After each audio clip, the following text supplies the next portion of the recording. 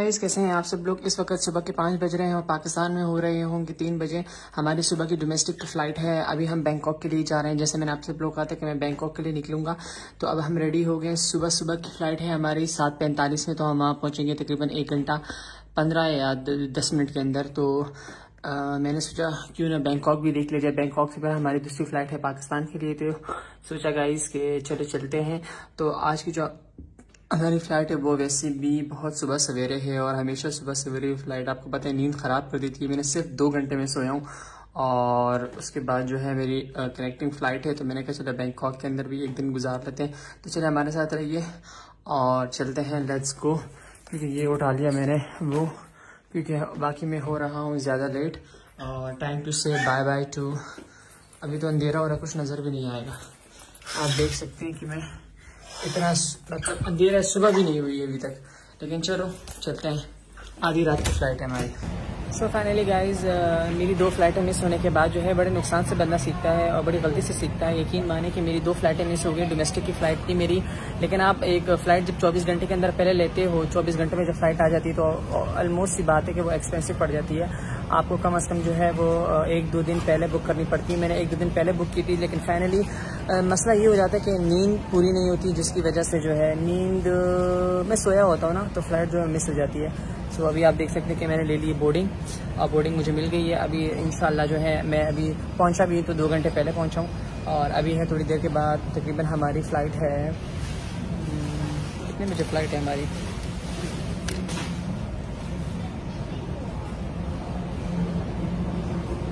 यही मसला है मैं भूल जाता हूँ अपनी फ़्लाइट नंबर हाँ हमारी फ़्लाइट है ग्यारह दस पे लेकिन मैं इस वक्त नौ बजे एयरपोर्ट पहुँचा हूँ तो तकरीबन हम हमें टाइम लग जाएँगे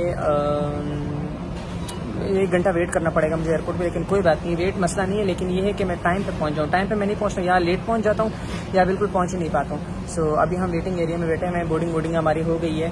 तो अभी इन जो है वो बैंकॉक के लिए हम जाएँगे। बैंकॉक पर हमने वहाँ पर स्टे करना है। तकरीबन थोड़ा सा ज़्यादा स्टे है, उसके बाद फिर हमारी कनेक्टिंग फ़्लाइट है।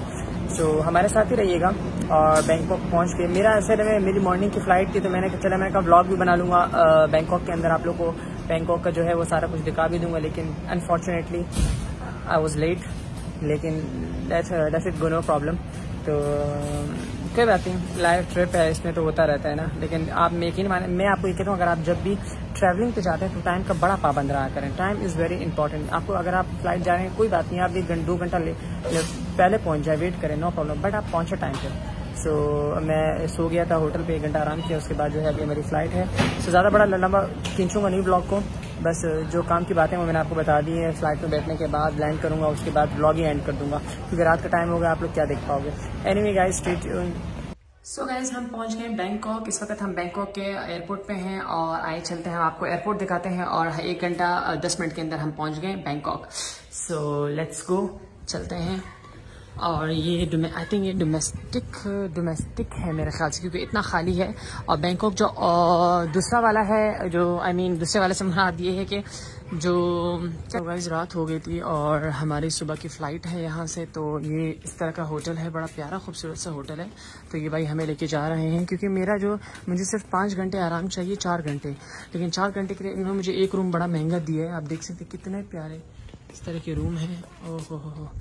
अंदर चलते हैं देखते हैं किस तरह का हमारा रूम है। और पुट्स द लाइट ऑन अच्छा ये हमारा रूम है आप लोग देख सकते हैं गाइस और ये चीज़ें रखी हुई हैं। There is some some for food और नॉट फ़ूड बर्गर मर्गर नो नो बड़े कंजूस हो तुम लोग तो यार कुछ देते ही नहीं हो खाने पीने में उतने पैसे ले लेते हो। दिन के टाइम ये बड़ा प्यारा लगता होगा। बस ठीक है अच्छा है खूबसूरत है। सो ये हमारा बेड है।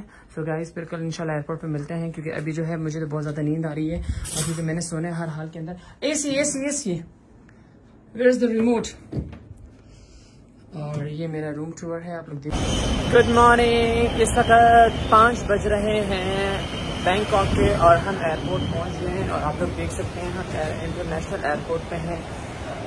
हद से बड़ा, सबसे बड़ा एयरपोर्ट यही है बैंकॉक का। यहाँ पे बहुत ज़्यादा रश होता है, बहुत ज़्यादा लोग होते हैं, बहुत ज़्यादा फ़्लाइटें होती हैं, इतनी ज़्यादा फ़्लाइटें होती हैं कि पूछे मत लेट मी शो यू ये देखें। बहुत ज़्यादा रश है यहाँ पे, लेकिन अभी हमने सबसे पहले अपने जाना है, अपना दो घंटा पहले हमने चेक इन के लिए हम आ गए बल्कि ढाई घंटा पहले। सबसे पहले हम देखते हैं हमारी फ़्लाइट जो है वो कहाँ पे है। हमारे साथ रहिएगा। सो so गाइस हमारी बोर्डिंग वोडिंग हो गई है और ब्लॉग बड़ा लंबा होते जा रहा है क्योंकि मैंने सोचा कि मैं अभी जो हूँ हमारी फ़्लाइट का टाइम हो गया चौबीस चलते हैं ठीक है? ब्लॉग को यहीं पे एंड करते हैं क्योंकि वही वाला रूटीन होगा कि भाई आ, हम जो है फिर जहाज़ में बैठेंगे उसके बाद जो है हम आ, आएँगे जाएँगे खाएँगे पियेंगे तो वो बड़ा रूटीन में चलता रहता है। सो so, कहने का मकसद ये है कि इस वक्त मैं इंटरनेशनल बैंकॉक एयरपोर्ट पे हूँ हमारी बोर्डिंग वोडिंग हो गई है। सो so, बस अभी हम चलते हैं हमारी फ़्लाइट रेडी है। सो so, इस ब्लॉग को मैं यहीं पे एंड करता हूँ। लाइक शेयर सब्सक्राइब कर दिएगा और बताएँ कि अभी मैं इस वक्त नेक्स्ट में कहाँ पर जाऊँ कहाँ का दौरा लगाऊँ कहाँ का टूर लगाऊँ। सो बड़ी मेहनत से ब्लॉग बनता है। लाइक शेयर और सब्सक्राइब कर दिएगा। ठीक है जी बहुत बहुत शुक्रिया। थैंक यू सो मच अल्लाह हाफिज़।